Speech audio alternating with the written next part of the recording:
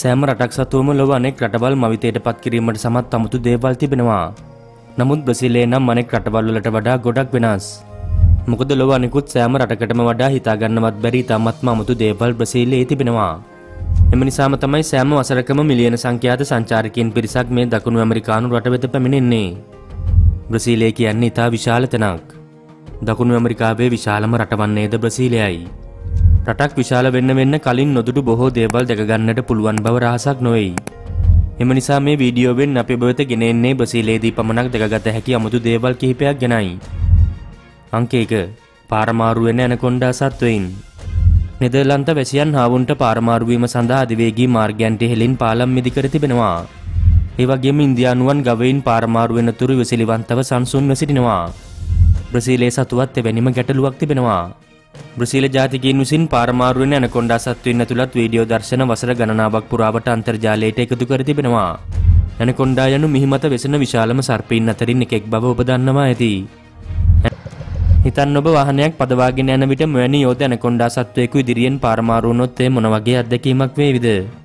අඩි 10ක් පමණ දිග මේ ඇනකොන්ඩා සත්වයෙකුට පාරමාරුවීම සඳහා බොහෝ වේලාවක් ගත වෙනවා. එම නිසා එම කාලයේ පුරාවටම ඔබට වාහනය නවතාගෙන සිටීමට සිදු වෙනවා. බලන්න මිනිසුන් නිවසිලිවන්තව සිටින් නිසා එම සත්වයාට නිරුපද්‍රිතව පාරමාරුවීමට හැකි වුණා. අංක දෙක ප්‍රතිදීප්ත ගෙම්බන්. අපරාධකරුවන් තමන් අපරාධය සිදු කළ ස්ථානයේ කිසිම හෝඩුවාවක් නොතබා යන්නට වග බලා ගන්නවා. එම නිසා එහි පැමිණෙන පොලිස් නිලධාරීන්ද දැඩි අපහසුතාවයට පත්වෙනවා. නමුත් ඔවුන් පාරජම්බූල ආලෝකය මගින් එම ස්ථානය පරීක්ෂා කිරීමේදී බලාපොරොත්තු නොවූ විදියේ හෝඩුවාවන් සොයා ගැනීමට හැකි වෙනවා. බ්‍රසීලයෙන් මෑතකදී සොයාගත් මේ අමුතු ගිම විශේෂයද සොයාගනු ලැබුව එම ක්‍රමවේදයෙන්මයි. ගිම්බන්ගේ ධනික සංවේදනයන් පිළිබඳව අධ්‍යනය කරමින් සිටි අන්තර්ජාතික පරීක්ෂකයින් කණ්ඩෑමකට තමයි මේ අපූරු දසුන දිස්සුනේ. එම පරීක්ෂකයින් ඔවුන්ගේ පාර්ජම්බූල විකිරණ ලාම්පු දැල්ලූ විට කුඩා ජීවයෙකුගේ හිසෙන් සහ පිටපැත්තෙන් තීව්‍ර ආලෝකයක් නිකුත් වෙන හැටි දිස්සුණා. අවසානයේදී ඒ ගෙම්බන් විශේෂයක් බව ඔවුන්ට පෙනී ගියා. එම ගෙම්බන්ගේ ශරීරයේ පීවියසට නොපෙනෙන ප්‍රතිදීප්ත ආලෝක රටාවක් සැඟව පවතින හැටි මොනතරම් නම් අපූරුද. ඒ දිස්වන්නේ පාර්ජම්බූල විකිරණ වැනි විශේෂිත ආලෝක තත්ත්වයක් හමුවේ පමණයි. මේ ගෙම්බන් අයත් ගෙඹ විශේෂය උපතින්ම බිහිරි. වර්ගයාබෝ කරන කාලයේදී විරුද්ධ ලිංගිකයින්ගේ ආමන්ත්‍රණය නොඇසෙන නිසා ඔවුන්ගේ ශරීරයෙන් නිකුත් වෙන මේ ආලෝකය ඔස්සේ තමයි ඔවුන් විරුද්ධ ලිංගිකයින්ව සොයා යන්නේ. අංක 3 ලොව උසම ජල ස්ලයිඩය මේ විශ්මේ ජනක ජලස්ලයිඩේ තට්ටු දාහතරක ගොඩනැගිල්ලක් තරම් මුසයි. බ්‍රසීලයේ පිහිටි මේ ජලස්ලයිඩේ නම් වෙන්න තිබෙන්නේ ත්‍රාසයට කැමති නිර්භීත සංචාරකින් සඳහාමයි. මේ ජලස්ලයිඩේ භාවිතා කරන්නන් පැයට සතපුම් හැට පහක් තරම් උපරිම වේගයකින් පහලට ලිස්සා යනවා. මෙවැනි අපූරු අත්දැකීමක් ඔබට ලෝකයේ වෙන කොහෙන්වත් ලබා ගන්නට බැහැ. බ්‍රසීලයේ ආකිරාස්සල මේ බීච් පාක් එකට ගියොත් මෙම ජලස්ලයිඩේ මත ලිස්සා යන්නෙම අපූරු අත්දැකීම ඔබටත් ලබා ගන්නට පුළුවන්. අංක හතර ලොව විශාලතම කජු ගස. මේ යෝධ කජුශාකයේ දිස්වන්නේ විශාල වනාන්තරයක් ලෙසයි. මෙහි යටගන්නා කජු ලොව රසවත්ම කජු වශයෙන් සැලකෙනවා. පිටතින් බලන විටේ දිස්වෙන හැටි තමයි මේ ඔබ දකින්නේ. එහි පිවිසි විට පෙනෙන තෙක් මානේම අහස වසාගෙන විශාල උඩුවියනක් ලෙසෙම ශාකයේ පවතිනවා. ඒ පිහිටා තිබෙන්නේ බ්‍රසීලයේ පිරංගි බීච් ලෙස හඳුන්වන වෙරළ තීරය ආශ්‍රිතවයි. ප්‍රධාන අතු කිහිපයකින්නුත් එම ශාකයේ අක්කර දෙකක් තරම් ප්‍රදේශයක් පුරා පැතිර පවතිනවා කිව්වොත් ඔබ පුදුමයට පත්වේවි. මේ ලොව විශාලතම කජුශාකය ලෙස ගිනස් වාර්තාපතේ නම සටහන් වීමත් සමග මෙම ස්ථානයේ ඉහළ සංචාරක ආකර්ෂණයක් දිනා ගැනීමට සමත් වුණා. අංක පහ මී හරකුන් පැද යන පොලිස් නිලධාරීන්. වසර විසිපහක් වැනි කාලයක් පුරාවට ඇමේසන් රිවර් ඩෙල්ටාවාසල රාජකාරි කරන පොලිස් නිලධාරීන්ගේ ප්‍රධානම ප්‍රවාහන මාධ්‍ය වුණේ මෙයයි. එහි වූ දුෂ්කර භූමියේ වාහනවලට ගමන් කිරීමට හැකියාවක් නැහැ. එම නිසා ජීප් රථ වෙනුවට මී හරකුන් යොදා ගැනීමට ඔවුන් තීරණය කරා. මේ ආසියානු මීහරකුන් බ්‍රසීල පොලිසිය සඳහා විශාල කාර්යභාරයක් ඉටු කරනවා. ජලයෙන් සහ මඩවලින් පිරුණු ගොහුදු වගුරුබිමේ පහසුවෙන් ගමන් කිරීමේ හැකියාවක් මේ සත්වයින්ට තිබෙනවා. බ්‍රසීලයේ මුරාජෝ දූපතේ පොලිස් නිලධාරීන්ගේ වගේම හමුදා නිලධාරීන්ගේත් නිල වාහනේ වී තිබෙන්නේ මීහරකුන්. එහි ගියොත් ඔබට මීහරක් මස් ඇති අයිස්ක්‍රීම් සහ චීස් වගේම බෆලෝ මස්ද අනුභව කරන්නට පුළුවන්. මොකද එහි වෙසෙන මීහරක් ගහනය මිලියනයකටත් වඩා වැඩි.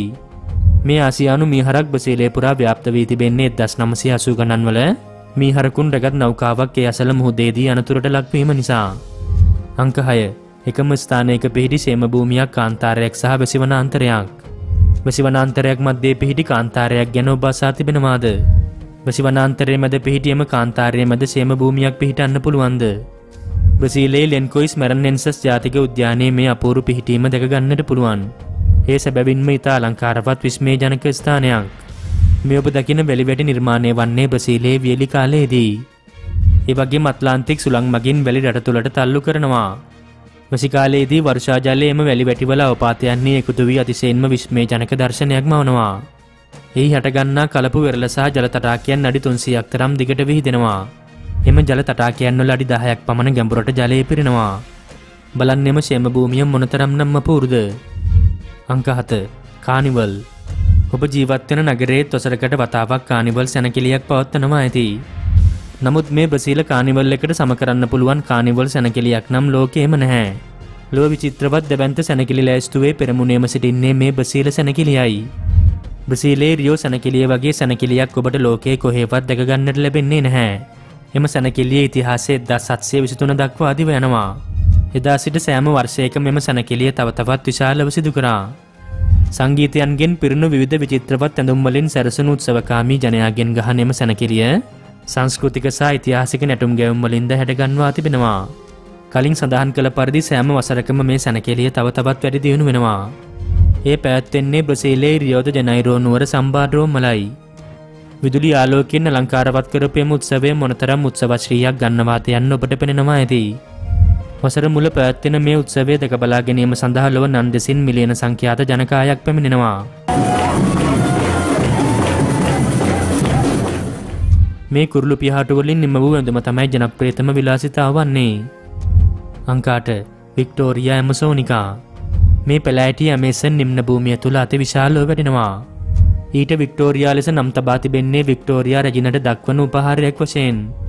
ඇය දාහට හැවරදිවයේදී බ්‍රතාන්‍ය උටුන්න දරපු කාලයේදීම තමයි මේ අපූරු පැලෑටියද සොයා ගනු ලැබුවේ. මේ වික්ටෝරිය ඇමසෝනිකා පැලෑටයට අඩි විසිහයක් පමණ උසට වර්ධනය වෙන්න පුළුවන්. ජලය මතුපිට දිස්වෙන්නට තිබෙන එහි පත්‍රයන්නේ විශ්කම්බේ අඩි දහයක් පමණ වෙනවා. එය මොනතරම් විශාලද කියනවා නම් මිනිසෙකු පවා උසුල්ලා සිටින්නට පුළුවන්. මේ යෝධ හරිතවර්ණ තැටියේ යට තියෙනු කටු පිහිටා තිබෙනවා. ඒවා පිහිටා තිබෙන්නේ ශාකභක්ෂක මත්සීන්ගෙන් ආරක්ෂාවීමටයි. මේ තමයි වෝටලිලී පවුලේ විශාලම ප්‍රබේදය වන්නේ. රාත්‍රයේදී පිපෙනෙම අලංකාරවත් මල් පවතින්නේ පැය හතලිස්සටක් පමණයි. පළමු රාත්‍රයේදීලා සුදු පැහැකින් දිස්වෙනෙම මල දෙවැනි දවසේදී දම්පාටට හුරු රතු පැහැකින් දිස්වෙනවා. අංක නමය පෞරාණික වේ රාජධානිය. මානව ඉතිහාසය දෙස බලන කල අතීත ශිෂ්ඨාචාරයන් වල විසූ මිනිසුන් රාජධානි නිර්මාණය කරගෙන තිබෙනවා.